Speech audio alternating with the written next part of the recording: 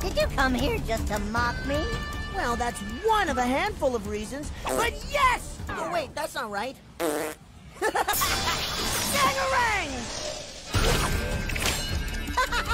You can't beat me with your stupid little boomer. Hey, is this thing ticking?